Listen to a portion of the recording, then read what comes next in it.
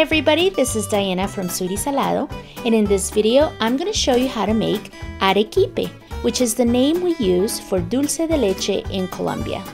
Now this is really easy to make and we're not going to use a can of sweetened condensed milk, but we're going to make it from scratch, which I believe it has a much better flavor. And like always, I'm going to leave you the link for the recipe at the end of the video where you can find all the ingredients and measurements. So first we're gonna add some whole milk to a large pot and some white sugar.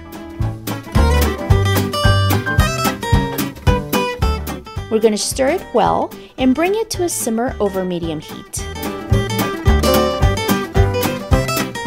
Once it's simmering and our sugar has dissolved, we're gonna add some vanilla extract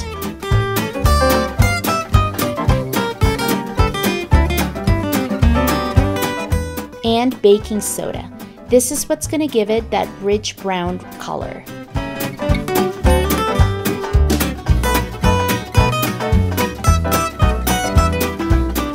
Then we're going to reduce the heat to low and cook uncovered for about an hour and a half to two hours. And make sure you skim off the foam that forms on top and that you stir it every now and then. And then at the end, you're going to end up with something like this, really brown and thick. Then we strain it through a fine mesh to make sure there are not any clumps in there. And we store it in an airtight container in the fridge for up to one month. And it's that easy. That's your recipe for making arequipe. Please don't forget to subscribe to this channel and you can click here for the arequipe recipe.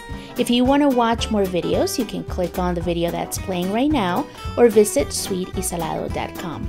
Thanks everybody for watching and I hope to see you next time. Bye bye and buen provecho.